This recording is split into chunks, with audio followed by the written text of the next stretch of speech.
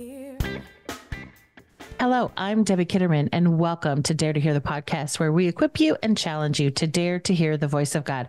Well, I'm excited because I have Amie Rogers back in the studio, and we're going to record not one, but two. This is a two parter. So we want you to know this is a two part podcast episode. And uh, it's been a while, and it's just been this crazy season of we haven't had the opportunity. I was sick. And so we're going to talk about Amie's words that the Lord gave her for 2024. Um, and so I'm really excited. But if you have not um, watched an episode or listened to an episode with Amie Rogers before, let me introduce her to you.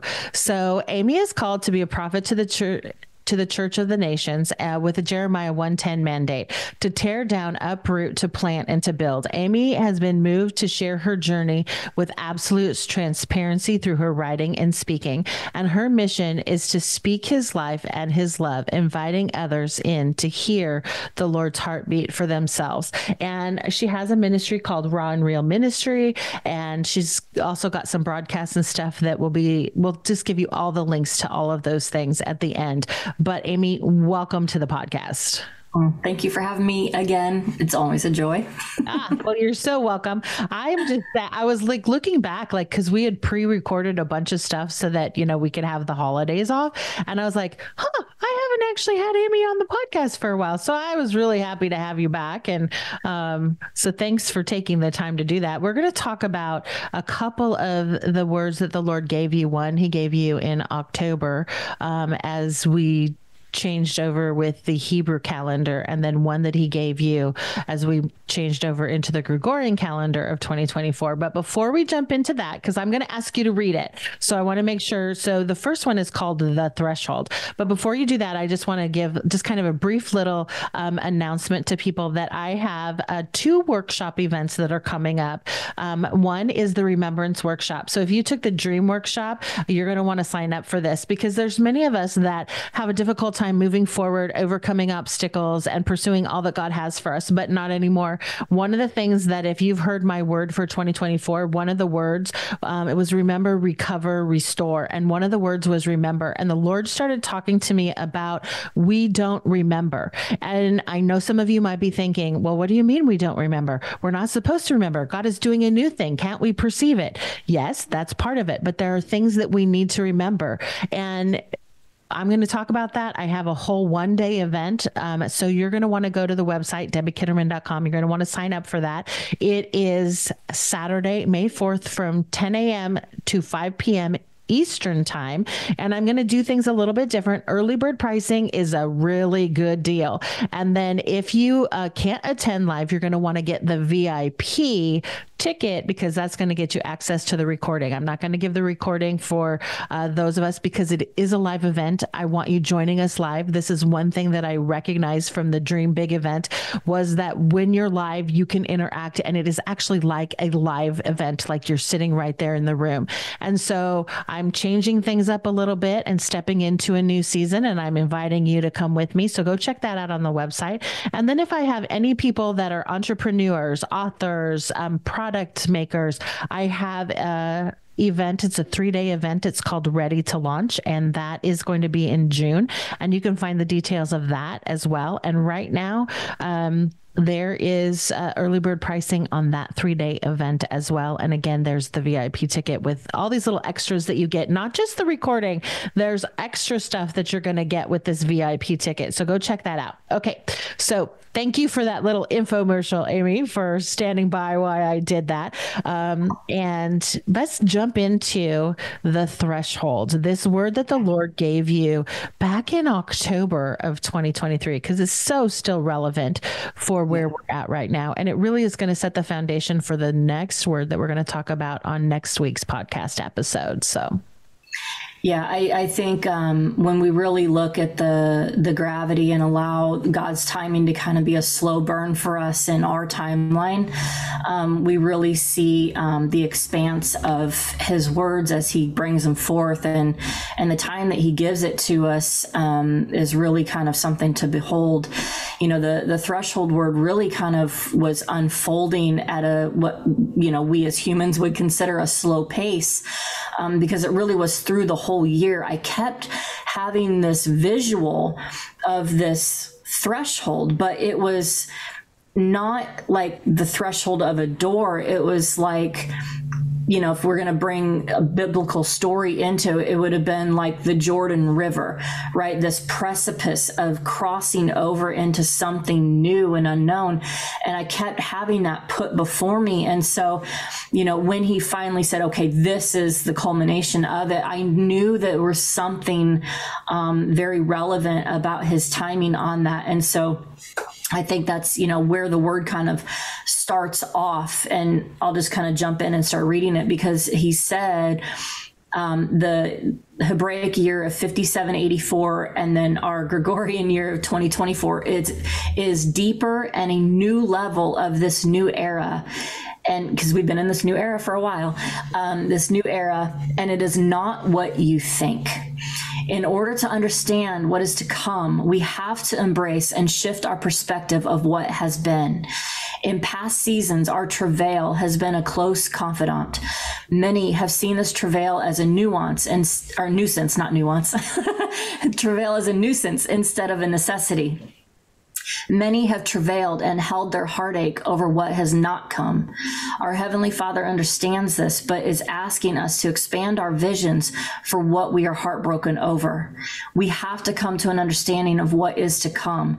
The dreams, promises, and transfers will have a moment and or season of travail with them. This travail may feel like sorrow, but it is the weightiness of the promise. This isn't a quote unquote hope deferred because we understand the lingering here on earth is the appointed time of heaven. And that's a Habakkuk 2 2 uh, reference there. We travail, we war, we stand, we trust, we intercede, we prophesy that appointed thing our partnership with God in this current threshold transition is our travail over the greater purpose of what is to come, not for the receipt of things or personal achievement here on earth. It is all for his glory and victory over the seasons we are walking out of, as well as the ones to come. Many travailed over their heavenly wealth transfer. Hannah's was for a son, but the greater vision was a prophet to the nations. Daniel's was for a deeper understanding over what he was shown. Elijah's was for the rain to return after a season of famine. Jeremiah's was for his nation, and Jesus's was for all eternity with us in mind.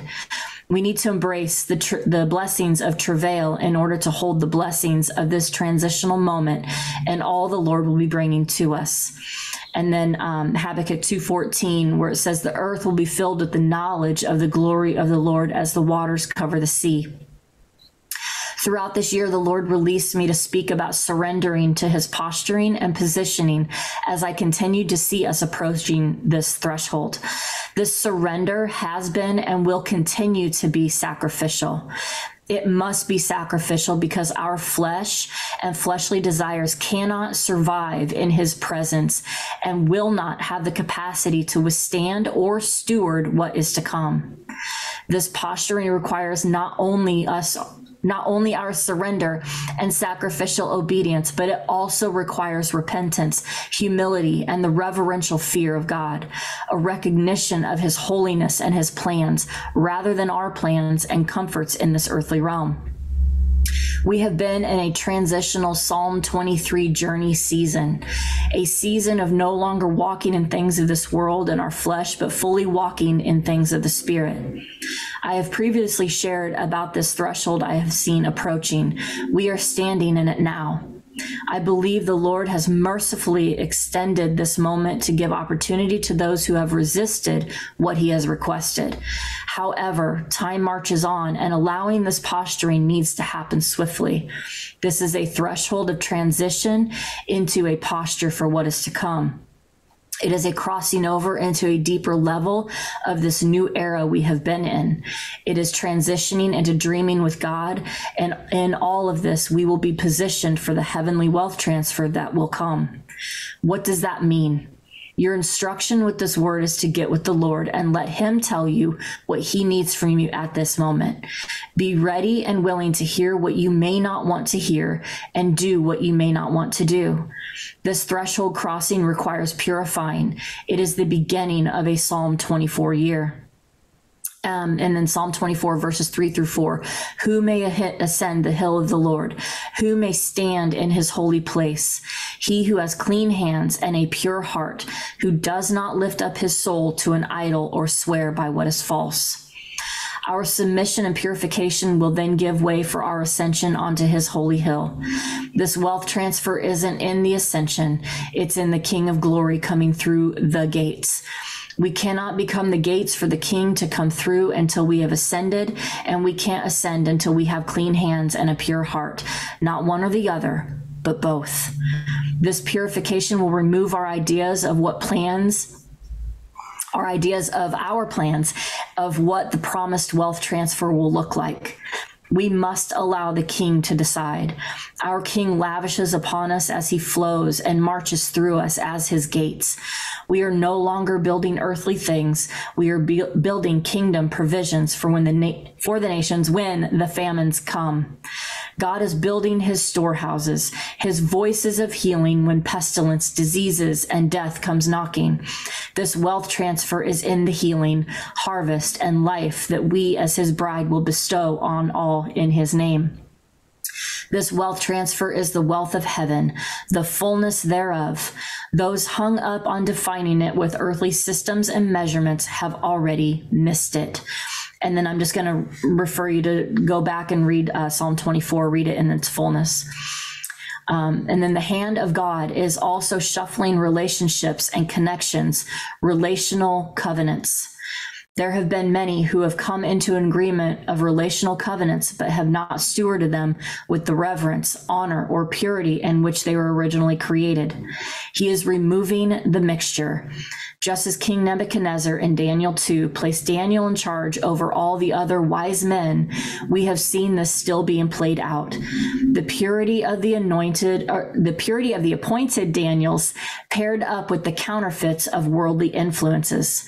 The, the King Nebuchadnezzar leaders have seen this pure, yet kept the counterfeits in play. There will be a major upheaval in leadership that has tolerated, celebrated, and promoted mixture. Prideful, entitled, money motivated spirits have been major contributors in this. We as leaders in our own lives need to make sure we have not paired up the pure with the counterfeit to clean hands and pure hearts in everything.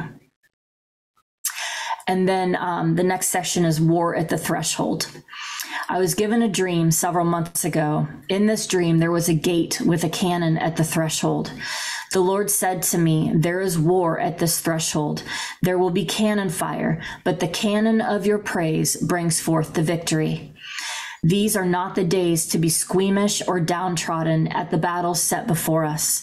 If we do not armor up and war, we will not be able to withstand what is to come, nor will we be able to steward what heaven desires to bestow upon us. And then Psalm 144 1, where it says, Praise be to the Lord my rock, who trains my hands for war and my fingers for battle. We are in a revolutionary war. There is revelation pouring from heaven and bursting out from our spirit man, a bold and brave company of believers counting every attack, every blast, every shot from the enemy's camp, counting it all as joy. A revolution of our vision and our thought processes has to come. To those who are already in process, it's coming swiftly. We will see a revolution happen here on this earth and within all its systems. This is why the Lord has been posturing his remnant on the mountains of influence. Those who have not stewarded their mountains, their mantles, and those in high and lofty places will be made low. You will see a dismantling and the scrambling.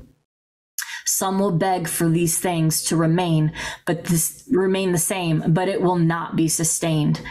As these revolutions come, your faith must remain steadfast in his word.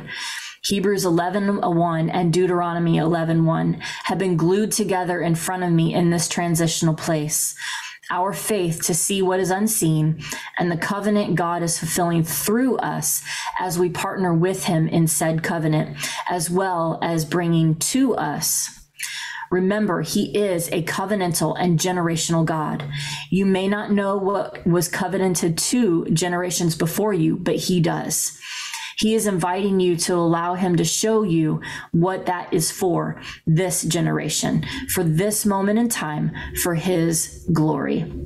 And Hebrews 11, 1 says, Now faith is being sure of what we hope for and certain of what we do not see. And then Deuteronomy 111 is, May the Lord, the God, your fathers, your ancestors, increase you a thousand times and bless you as he has promised. So good. And I know it was a little long to have you read that, but I think it's so important for people to hear it. And then we'll have the link in, in the um, show notes so they can go directly to this word to read it, to print it out. Because this was five, six months ago when you released it. God had been working on it before because this came out in, in early October of 2023. But even on this side, looking back, in the moment, we didn't really know all that was going to happen. But we've seen a lot of some of this play out. Um, maybe in our own personal lives, but also definitely in the church realm. We've seen some of these things play out. And it really um, started at the beginning in January. And some stuff was trickling out too at the end of 2023, but things really started to heat up with some of this transition piece. And um, I, I am struck, Amie, by how the Lord had given you this. I was working on my word, and then we went into the holidays. And even though this word had come out and then the next word that we're going to talk about for next week's podcast episode, how closely tied they are together, but from different perspectives and different angles. And this is what I think people need to understand is that we can have many different voices speaking, but there's threads throughout them all. It's like we have the gospels of Matthew, Mark, Luke, and John, right? They were all with Jesus, but they saw from a different perspective, but they weren't in competition with each other, except for maybe John, who kept saying that he was the one that Jesus loved the most, right? um, but and and I just I love this because I I have several things here that I want to talk about that I'm sure people are like, what does she mean by that? And so I want us to unpack that. But I'm struck by this remembrance thing because here at the very end, you're like, we need to remember his covenants that he gave to generations before because we might not remember. And so it just kind of solidifies to me. It's another thing of the importance of this remembrance um, workshop that I'm doing. But I want to go back to the very beginning of your word because um, I think that's a great place to start. We could start at the end and we could start talking about some of those things, but I think I think going to the beginning um, because I know when we were talking in preparation for this, um, you had said that when the picture you had was like the crossing the Jordan River of of coming in, but then also at the time, you know, you weren't really thinking about the um, what 2024 was going to be for the Hebrew calendar. And so I want you to kind of talk a little bit about that because I think it then gives a little more emphasis to this threshold moment that we find ourselves standing in.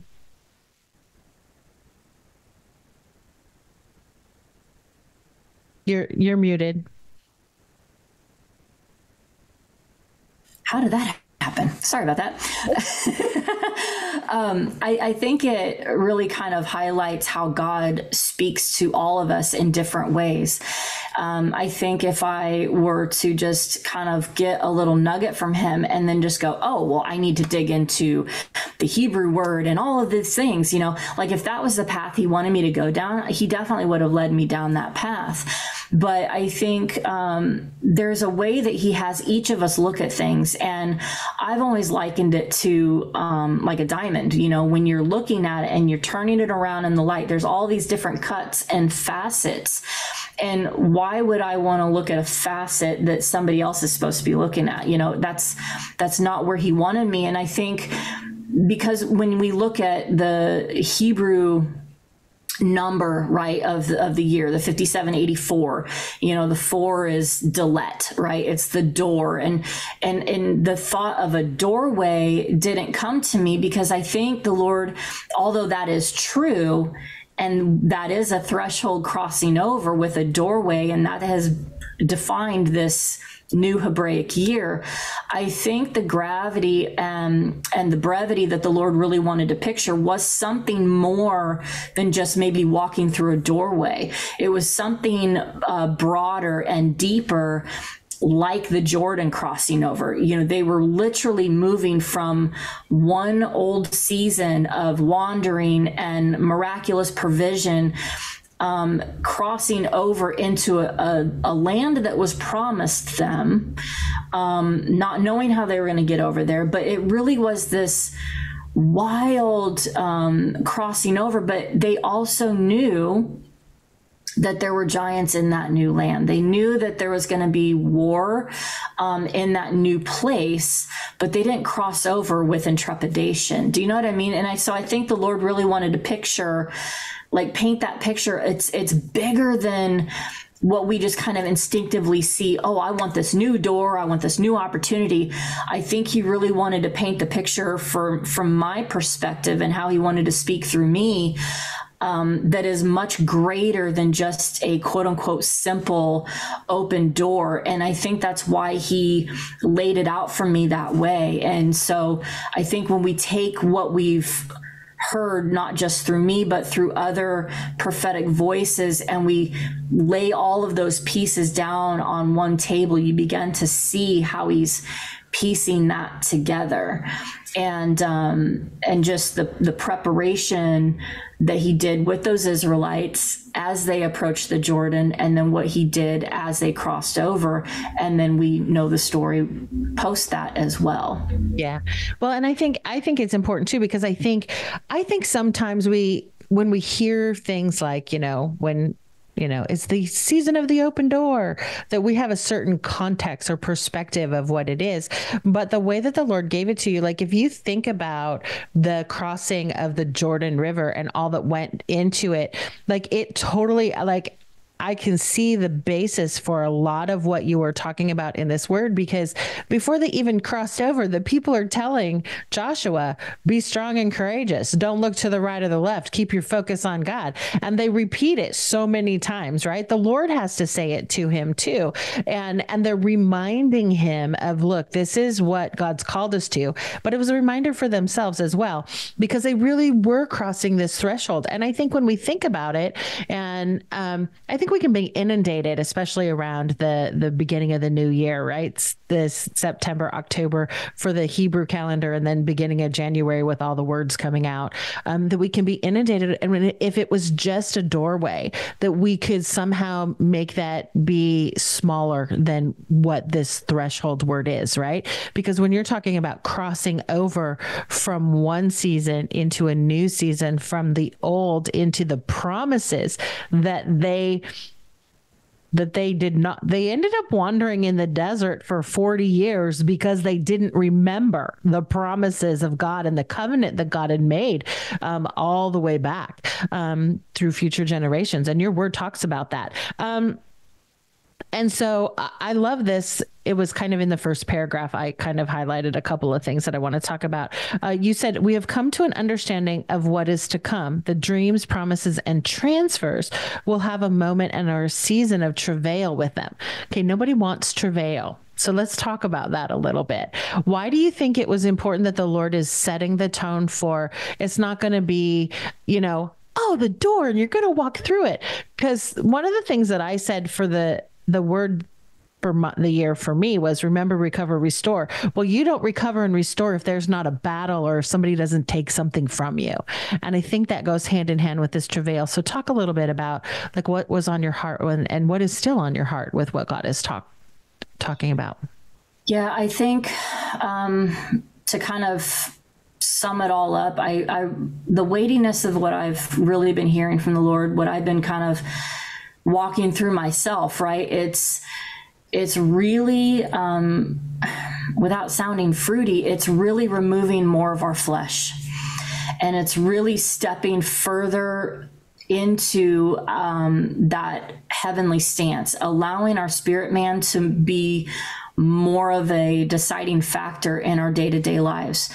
And I think um, I've I've kind of hit this threshold of um, intolerance with what I call the fruity cotton candy, you know, raw, raw stuff. Mm-hmm. I'm not denying or debating the goodness of God and the things that He promises, but I have walked enough life and I know the Lord enough to know that with what he is calling us up into is good and great and glorious for him, it does benefit us here on this earth. But I also know that there's a cost to it.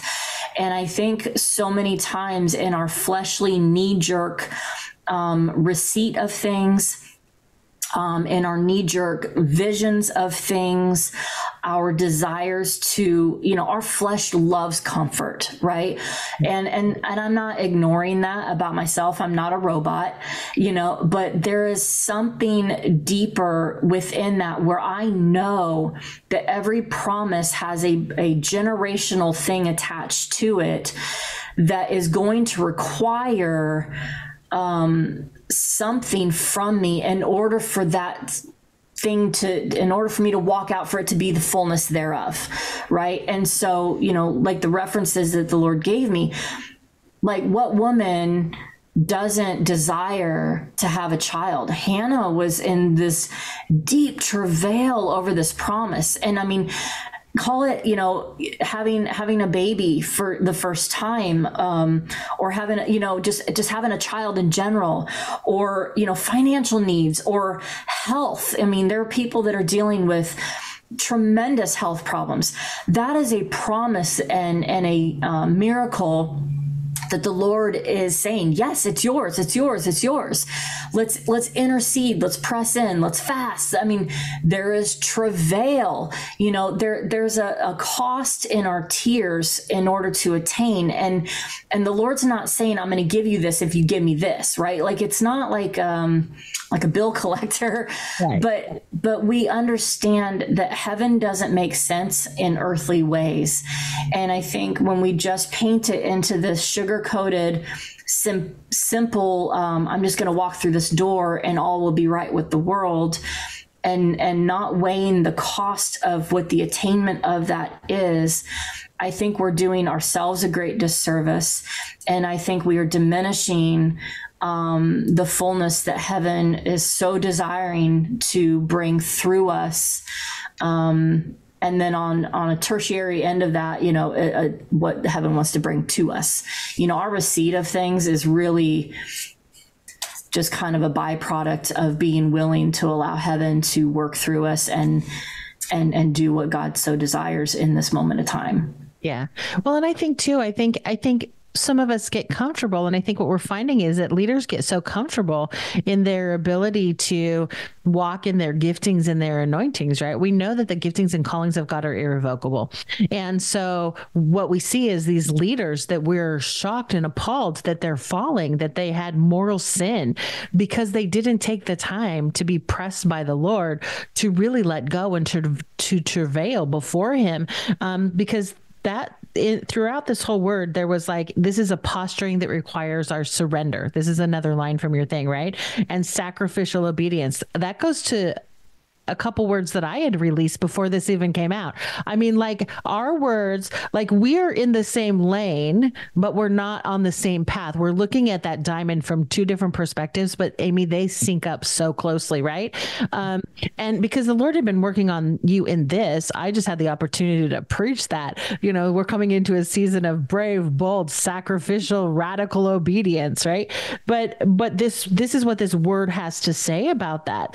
Um, and and I think that that we have to and we you both you and I have been preaching this for a couple years now that we have to get our stuff right before the Lord.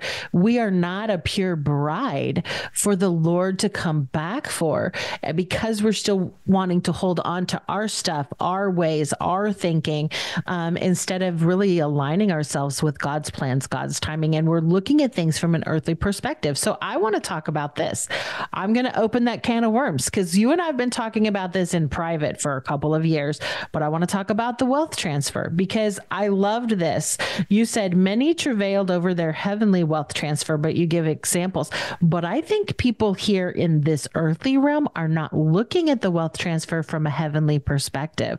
And you kind of just briefly mentioned, you know, Hannah was travailing and at this this heavenly wealth transfer, but you also in this you talked about Daniel and Jeremiah and Elijah and Jesus. And so let's kind of unpack that. I wasn't ready to go there today, but I guess we're going to go there. But let's talk about this wealth transfer and how there needs to be this paradigm or this mind shift from what people really think it's going to be. And I'm going to say this too. If you're not willing to go through the travail, if you're not willing to lay yourself on the altar, you're not going to be in any position to receive any kind of wealth transfer, whether it be monetarily or spiritual at all. So I'm just I'm going to lay that out there. This is a this this is one of those buzzwords. I'm sorry, I'm getting on my soapbox, but this is one of those buzzwords, Amie, that drives me crazy when people talk about the wealth transfer because that's why I haven't got there. Because then people are like, oh, I like that ministry. They're talking and they're tickling my ears. I'm going to throw money at them. And that's really what they're doing because because in order to position yourself for the wealth transfer, you have to do the travail. You have to be ready to walk through the threshold and the open door, but you got to do your part because scripture says, you know, um, that about being a good steward and being pressed down, shaking together, overflowing. Well, if you're not a good steward, God's not going to channel anything through you, right? Yeah. So I'm gonna let I'm gonna let you get on your soapbox now. well, I think I think the overarching issue is when we're talking about something very specific about this. I think it really, in a sense, highlights um, the um, mismanagement of true discipleship in the body of Christ because we have stagnated people into an immature posture and way of thinking that everything about heaven translates into our earthly definitions and not the other way around. And we're not discipling people into an understanding of, um, you know, Lord, your will be done here on earth as it is in heaven, not your will into my will of my earthly things. And so I think that really kind of is the big highlighter um, for me and and it really just kind of shatters my heart because i feel so many people are stagnated into an immature materialistic way of thinking mm-hmm. and and that it's all about their life and their comforts and and finances and da da da da da do I think the wealth transfer has something to do with the Lord blessing his his people with finances and, and kingdom things? Yes, because he understands how we have to function as dual citizens, right? We're citizen of heaven, we're citizen of earth. And he understands how we have to function. But when our heart posture is for earthly things and we're not desiring kingdom things, it instantly disqualifies us in my book because we're not kingdom mindset. We are earthly comforts. And and there's a, a, a, mismanagement even in our hearts before we have it in our hands. And i think when we look at things in a new covenant way specifically about the wealth transfer um, a lot of times we we tend to reference the Israelites in captivity and how they were weighed down with the wealth of Egypt and blah blah blah blah. Right? They wandered. They had to get Egypt out of them. I mean, we've all kind of heard those stories. I've even shared it a lot because I've had a lot of revelation with the Israelites and their journey and such.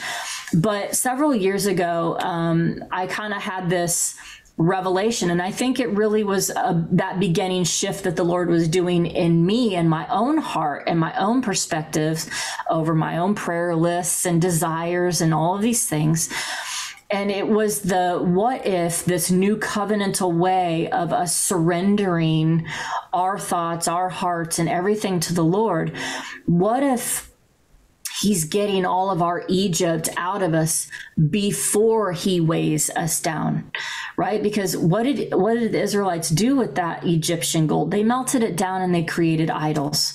Mm-hmm. And the Lord that we follow now in this new covenant, this redeemed way of life out of the law and you know what Jesus did for us the Lord is not going to give us something that we are simply going to turn into idols. He is not going to entrust us with something that He knows full well our hearts are not purified in a way to steward that thing. And so when we work on our posturing and we let Him talk to us, it's going to look different for all of us it's how he's purifying us so that we will steward what he desires to do through us with absolute reverence and purity um, of what he's wanting to establish through us as kingdom stuff here on earth that he so desires to be done. Yeah. And I think that's so good because, I mean, you know, I've heard lots of people like, oh, well, maybe I'm going to, you know, God's just going to funnel all this money through me, but they're not good stewards of their own financial resources. And so, why is God going to add more to it? Because we have to go through the purification process to make money not be our idol, right? Um, it's the love of money that is the root of all evil. It's not money itself. And so our perspective, our earthly perspective, look, money doesn't make us happy. God is but but it is what makes this us be able to function and, and do things in this world. And it's this economy, and God knows that. So there are some people that are going to get this wealth transfer and it's going to be monetary uh, monetary but I loved what you said in the beginning, where you were really talking about this heavenly wealth transfer, and it's not monetary. It's it's the Hannahs that are the travailing for the the child that she wants and so desperately um, has been praying for years. I mean, she was being bullied by the other wife for years. I mean, talk about travail. Talk about having to carry this burden of, I mean, if you look at what scripture said and what they fully walk by children are a blessing of the lord so if your womb wasn't open the lord wasn't blessing you and and even in the temple when the priest came he's like why are you drunk and why are you in here? She's like, I'm not drunk. I'm not drunk, right? In fact, she she said, I'm here praying that God would give me a child. So much so that that child Samuel came back to serve under Eli, who called Hannah drunk. Yeah. Talk about posturing yourself to enter into that threshold. And I think that's a I think as we're talking about this, it's a very beautiful and perfect picture mm-hmm. at how Hannah was not so anchored into the receipt of the promise that she wasn't willing to return it back to the Lord. She was not so, she was not that hoarder mentality. She knew her biggest desire she finally received, and yet she gave it back to the Lord to do with it as he wished. And the wish for that child, A, it fulfilled her heart's desire, for one. But two, he became a prophet to nations and his words never fell to the ground. Powerful, mm-hmm. powerful heavenly wealth transfer. Yeah. And see, that's that's that picture that I think the Lord is really wanting us to grab a hold of that yes, we can have these desires. Yes, I want to do this and I have this vision for this kingdom business. And that is not ill placed. Okay. So I just, I want to encourage you and, and, and those listening that's your heart's desires are given by God. But are you so tethered to them that instead of them being altars in your temple, they have become idols? That's the differentiation between our our heart tether to earthly systems or our heart's desire for heavenly um, plans and purpose. Hmm. And that is that purifying place that he has us. That's in that sacrificial obedience. That's what comes in the travail is a deeper understanding of heaven's purpose and the desires that heaven sets within us. Mm-hmm. That's so good, and that's such a good point because I think it's so true that we we have got to ask God for His mindset around this wealth transfer and take it out of our human earthly mindset and concept of what it is, because wealth in the kingdom is so much more than finances. In fact, we don't once we're in heaven, we don't actually need finances the way we need them here.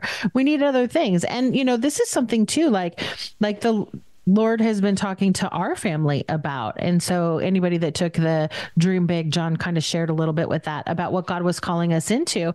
And and the Lord had asked me 2 years ago, are you would you be willing to walk away from Dare 2 Hear ministry and the sound the call and all this stuff? And I was like, "Yes, Lord. Yes, Lord. I will do this. If this is what you're calling our family to do for kingdom purposes, I'm willing to walk away. I'm willing to lay it down." And I was like ready to do that, right? Boom, okay, I'm all in. I'm laying it all down. And then nothing happened for two years. But it's in that travail, it's in that process that the Lord is saying, okay, well, let's really work this out of you. And, you know, just recently I've had to, like, like the Lord was saying, I need you to stop the remnant. That's the prophetic community that we're doing, right? I need you to stop that. I was like, okay, Lord, but and I'm like, all these ideas and all these things and all these comebacks with, okay, but I don't think you fully understand what this means, right? And then I was reminded, am I willing to lay it down? Am I willing to sacrifice what I have in the moment for what the Lord is wanting to maybe transfer to me? And in in that moment, still, yes, Lord, I'm willing to do it. I'm willing to do it. Praying into it. Am I making the right decision? Am I doing the right thing? I've journeyed with many of these people for two years, and and it's good and it feeds all of us, right? But the Lord's like, I need you to lay it down for a season. So I was like, okay, I'll do it. And you know, when I obeyed that, and the travail that went into that. Like all of a sudden, I'm still in the midst of doing it. We're not finished yet. I mean, we're going to finish, but it's not completely finished. It ends in March. And then usually we just pick up and run right on with the next year. But the Lord asked me to lay it down for this summer season and and possibly pick it up in the fall. Still praying into that. So all of you that have been sending me emails about the remnant, it's on pause right now. But in that, even though I'm still in the middle of it, my willingness to lay it down on the altar, the Lord had like infused all these blueprints that had been tucked in these drawers of things that had been on my heart or I was stuck and I couldn't figure out how to make this piece do. I mean, the sound the call thing, I started that an Instagram page for two years. I have like four pictures on that. And then I was like, I don't know what to do with this because I was so busy in the moment doing this other stuff and unwilling to like, I just didn't have enough time in the day. And, and I was like unwilling to let it go, but not really. And then what do I, but in that time when I made that decision and I made that announcement, the Lord just boom poured out revelation and blueprints and plans. And so I want to encourage any of you, like, even though the Lord asked you to do something in the moment, like He did two years ago, I still haven't seen the fruition of our family walking out that kingdom business that God has given us. But plans are moving forward now in this season. And it's just taken two years for things to catch up. But God already had my heart. God already had the travail. I mean, and you would think that the part of, yes, Lord, would be the hard part. Mm-mm. It's been walking it out the last two years. And I think that's the other thing about, I thought it was interesting, Amie, the, the people that you chose to talk about Hannah and Daniel and Elijah and Jeremiah, because look at Daniel. I mean, he's brought in, he's a prisoner, he's a prisoner of war, um, but they put him in charge of all the stuff. Nebuchadnezzar, he's got favor on him for Nebuchadnezzar. And yet, because he had integrity, because he was willing to travail, he interceded, he prayed, he was constantly in communion and communication with God. He had to suffer. I mean, he got thrown into the lion's den. Nebuchadnezzar didn't really want to do it, but he had to do it because, hey, these are the rules of the land.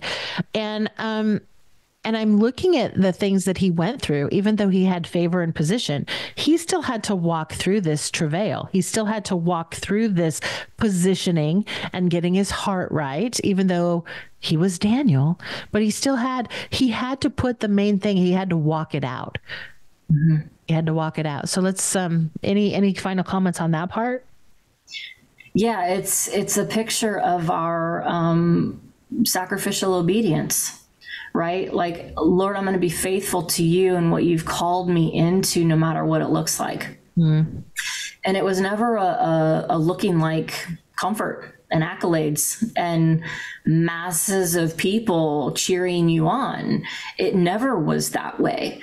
And I think we, that's another earthly humanistic definition that we put on, on the call of God on our lives. And, you know, in my more immature days, I can tell you without a shadow of a doubt, I had that perspective, you know, and and and the Lord has really wrestled that out of me, mm. and and how beautiful and grateful I am to see the stories that we read about in the scriptures because it really shows us this is what it really looks like. I mean, from Old Testament to New, you know, I mean, all of the Acts church, they counted it all as joy. They were obedient. They went out. Yes, signs, wonders, and wonders and miracles followed them, but so did the persecution and the certain death. And they counted that as joy because they knew they were living and walking as Jesus walked. And that's really the call on our lives. Mm-hmm. So my sacrificial obedience, if it lands me in a lion's den, I'm doing what I'm called to do. I'm not here for comfort. Yeah. With Shadrach, Meshach, and Abednego, their private obedience to God was then put on display. The whole the crowds came to watch them be martyred, right? That's what they wanted to see. They didn't want to see what they were doing behind closed doors, you know?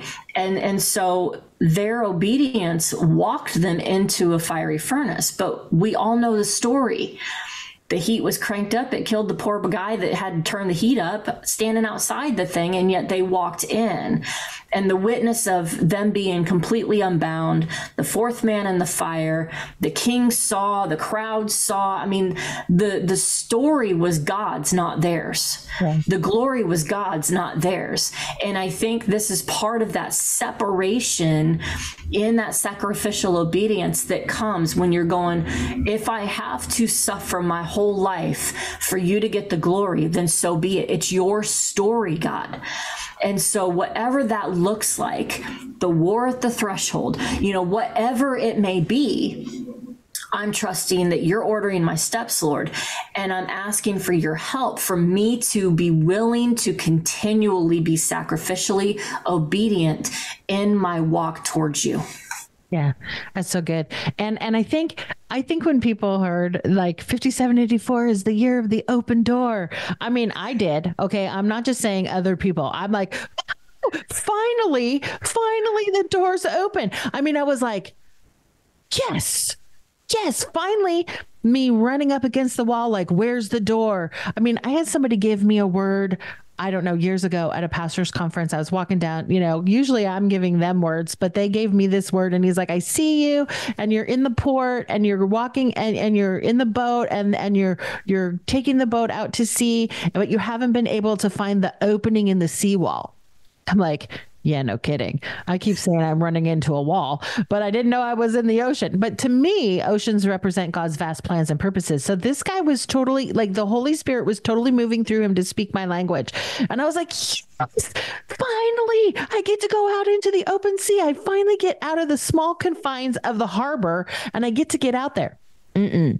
Mm-mm. It took so many years, even beyond that. Like I'm just now starting to feel that. And so we think, oh, it's the season of the open door. Finally, everything is going to come through. Mm-mm. The war, the war, the war at the threshold. Like this dream that the Lord gave you in the last part of this word, like I don't want, I don't want to end this podcast episode without talking about it because I think it's so important for us to understand that that there is a war there is a real battle. You have a real enemy that is seeking to destroy you to kill you to take you out. And he comes in the most subtle of moments. I talked about this on the podcast episode about remembrance and about my story about how i was wrestling with the the concept of well how is this different than the vision board and i just did dreaming big with god how did, i did this seminar and so how is this different and i was like calling my people and talking to my people and then even after I said, okay, I'm in, I'm going to do this and being obedient to the Lord, can I tell you that the enemy has been relentless? Mm-hmm. Like, relentless. Like, even though, like, last night, Amie, in, in, stepping forward, it was like, I'm fine during the day. I'm so excited. I get all this confirmation of, yeah, you're supposed to be doing this remembrance workshop. And then I lay my head down at night and the enemy comes in just like he did in the Garden of Eden. And he's like, did God really say that? Are you sure? Are people really going to come? Is that really a thing? Like it was like all this stuff. And I was like, Ugh. and I'm battling, I'm battling to cross over this threshold in this season for these new things and this new way that God has given me to do some stuff. And I'm telling you, the battle and the war for the threshold and to walk through open doors is real. Let's talk about it. Yeah, um, I think that's this is one of those subjects that people just kind of tune out. You know, they want the fluffy, feel good stuff, but you know, it's the David at Ziklag, right? Everybody loves that story because David encouraged himself in the Lord. He strengthened himself in the Lord, and the Lord told him to recover all. But what did go to recover all mean? It means you had to go back to war.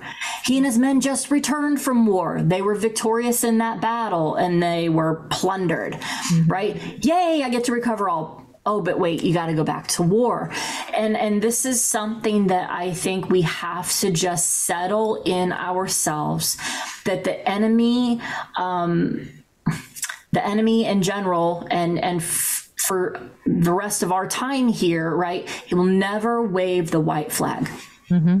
never ever ever are is the enemy going to leave you alone? Does he have access to you? No.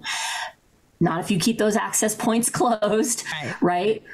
but there will always be scheming that the enemy is having around you. There will always be that sniper up in the tree or down in the bushes. There will always be that cannon fire that tries to come in and blow up your life. It, there will always be battles that are going to rage against you. And I think if anybody is telling you otherwise, then they're misleading you yeah. right? And and i'm not a doom and gloom person. I am a very positive person actually. I would love to dole out cotton candy but it's not in me right? It's not my lane. And and my lane is being very honest and real about walking with the lord and what that really looks like. Walking in the fullness thereof.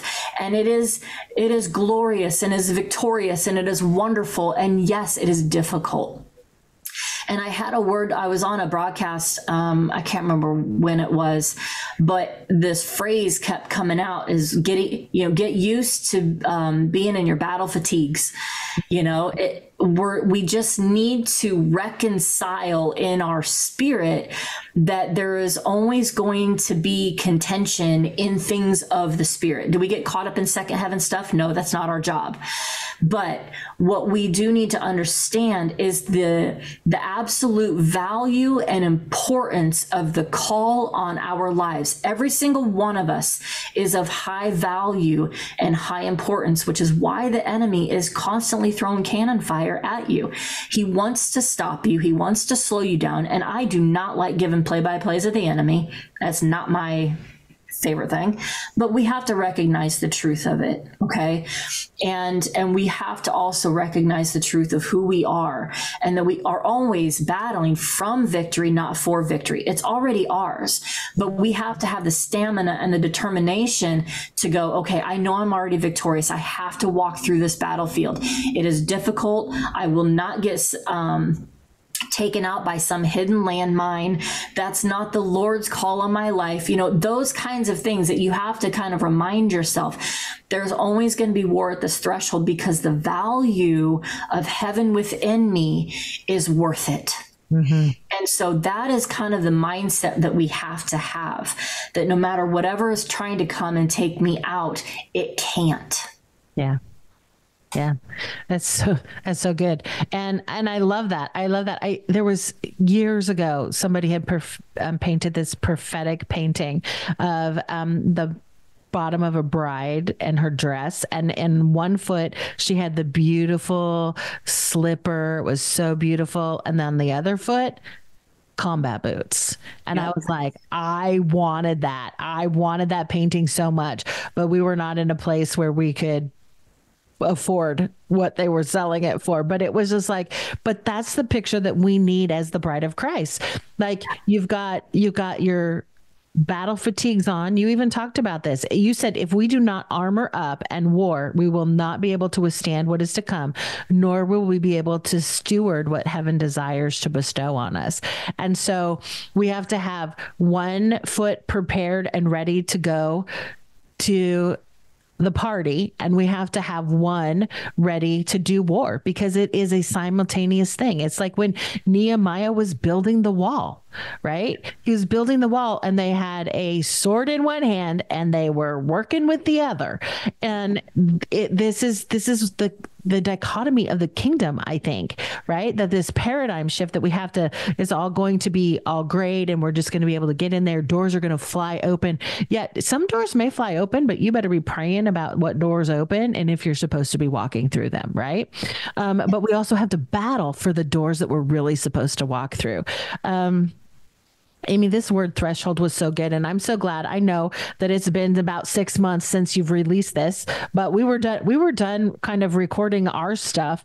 Um, and then we went into the holidays and then you know, I got sick and here we are um, in March. And this is so powerful and i think it's so good because I, I think we don't revisit i don't think we go back and remember what the lord spoke to us and then we get in the midst of the season going what's going on? And he already spoke it to us. He already spoke to us about this posturing this positioning ourselves getting ourselves clean getting ourselves purified.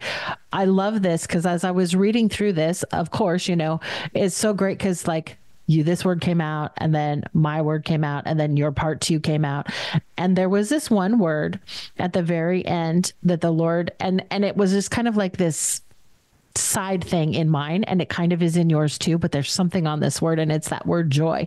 And and you had it in here. You said um, that we need to count it as joy. Like all of the stuff that's coming out we're in a revolutionary war. The revelation pouring from heaven and bursting out from our spirit man and a bold and brave company of believers counting every attack every blessing every shot from the enemy's count camp counting it as joy. And the lord said that in this season in the word that he gave me about the remember remember, recover, restore was that we really will truly begin to understand what it means to have the joy of the Lord be our strength, and that the enemy, that we allow the enemy to come rob us of our joy in the midst of these difficult moments of battle, when in fact we should be doing what Isaiah 54 says about sing, O barren woman, and ha- because you have victory before you even get it, stretch your tent pegs and do all this, and and that we have to have that joy of the Lord be our strength, even in the most of difficult circumstances that we need to count it as joy. So, any thoughts on that? I know that was just kind of like this short little boom in there but there's something on that word for this year i think yeah it, it's it's important and i think it's imperative that we remember that it's our circumstances that bring momentary places of happiness but it's the joy of the lord that strengthen us in the midst of maybe not so great circumstances right um, and i think the the remembrance thing um, that you're that you're talking about um, it's a really beautiful cross pollinator into what is to come. We have to have the remembrance in order to walk forward. There's it's it's almost fuel for the fire. Um, and I think that's a really beautiful thing. And we it, it really is how we walk into all of this stuff right? It's it's his joy. It's his strength. It has nothing to do with us. And remembering everything that he has done is a reminder that he is still doing it. And it is a reminder and a forward look that he will continue to do yeah. right? Because he's the same yesterday, today, and forever. Yeah. And what he speaks remains. He just unfolds all of the different layers. And and it's our joy to get to uncover that and our joy to walk as Jesus walked. We are to be that continuation of the Acts church because the Acts church is exactly how we should have been living for a millennia, right? But we won't go on that soapbox, but it's been deterred and it's been disrupted. And I really believe that we are in a moment of time um, that the Lord is like, finally, my remnant gets it. And we are re- reinstating in a way of how we walk and how we live those people that we read about in Acts and forward, they turned the world upside down. But how did they do that? They did it in the face of persecution. And the majority of the persecution came from the religious establishment. Let's not forget that. Okay. And, and it came in the face of, you know, the ruling law of the land um, in, in certain aspects and in certain uh, territories that they stepped into. But every point of persecution and difficulty that they faced, they were ridiculously excited about it because to them, the persecution was confirmation to their obedience. Mm. And I think if we have that perspective as we walk through this and the humility to do that, right? Because we can't have rebellion come in, right? There's a balance here. But when we look at it that way, the things that come up against us, is this persecution or is this consequences from disobedience or my rebellion? I mean, this is a discerning moment, right? We talk about discernment a lot, but to count it all as joy and to look at it as my persecution levels are really a confirmation to my obedience, I think that should be a, a fuel for the fire for many of us right? When you know you're taking land in a battle, you fight harder. You almost have this adrenaline rush of, oh, we've almost overtaken the enemy. Let's go, let's go, let's go. And I think that's kind of where we need to shift instead of going, oh, I'm so tired and, and we're just, we've lost so many people. And I mean, the doom and gloom side of war, right? But if we're like, we've almost taken back the territory let that be that injector and um, and look at all of it and count it all as joy. Yeah, that's so good. That's so good. Well, there is a lot to unpack in this. And I'm sure that as you were reading it, different people were hearing different things. And so, how can they find you? Like, what's your website? Where can they go? I'll obviously put the direct link in the show notes. But if they're wanting to check out about you, if they want to sew into your ministry, um, how do they find you, Amie? Um, just go to the website. It's raw and real ministries, all spelled out, um, dot com. And it's got all of my social links and all the blog entries and all that stuff. It's all just right there. That's the simplest way. Awesome. Well, I love that. There's so much more that we can unpack, but we actually have yeah. two next week that we're going to talk about the second part of the word that the Lord gave you um, about the Psalm 24 season. And so we're going to come back with that. But I'm just wondering if you want to just declare or pray us out today based on some of the things that we talked about, like the threshold and the war or whatever the Lord's put on your heart. I want to just give you the last few minutes. If there's anything else that's on your heart that you want to say about this word, I'm going to give that minute to you you, and then I'll just like close us out of the podcast today. Absolutely. Yeah, Lord, I just thank you for this moment of time. I thank you for your word. I thank you for your grace, your mercy, and your invitation into your presence, Lord. And I just ask that you continue to um, soften our hearts um, into a place of desired repositioning um, and just giving us the eyes to see um, maybe even the things that we don't want to see, Lord. Like, may we be bold and brave to look at those things. May we be bold and brave to hear the things that maybe we don't want to hear because maybe we don't think it's going to feel good. But Lord, I thank you for the invitation, the constant passionate pursuit that you have for us and the call that you've placed on our lives, Lord, that you passionately pursue us and pull us into your presence. And Lord, I just thank you for all of the hearts that are reevaluating and re-looking at things that have been going on and that they too begin to shift the narrative of their mindsets and of their heart position, Lord, that they begin to look at the call in your life and all the adversity that's come up against them, that we find that way to count it all as joy. Lord, may we continue to reside in your presence at your feet, surrendered and postured for you to move through us as you so desire in this moment of time, Lord. We just thank you and we praise you in Jesus' name. Amen. Amen. Well, Amie, thank you for coming on and sharing this word and for just uh, for the time that you spend with the Lord to really hear, to really posture yourself to bring us this powerful, powerful word. So thank you for that. Thank you for having me. Always. it's always a pleasure to have you. So, well, thank you for listening to Dare 2 Hear the podcast, where we encourage you to dare to hear the voice of God. I'm Debbie Kitterman. If you've been blessed at all in any way, we're going to ask that you do a couple of things share, share, share this podcast episode out. Go to Amie's website, uh, check out this word, print it out, and put it before you and ask the Lord, what is it and where am I at in this season with this word? And what do you require of me for stepping into this next season? And then also, also go check out the Remembrance Workshop. And any of you that are Kingdom entrepreneurs, authors, product developers, go check out my Ready to Launch uh, three day event that I have coming up in June. You don't want to miss that. Even if you're not quite ready to launch, this is going to set you up for success. It's never too early to plan ahead. So do that. But I'm really excited about the Remembrance Workshop. And um, I have some different speakers than before. Amie's son is graduating um, from college. So she was a little preoccupied that weekend, but don't worry, she'll be back on another one of my things um, in the near future. But go check that out because right now we're in early bird pricing.